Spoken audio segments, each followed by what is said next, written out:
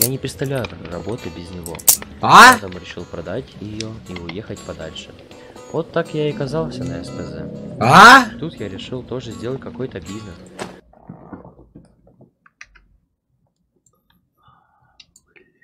А, Сейчас, секундочку, я погромче сделаю. Ну, примерно так, наверное.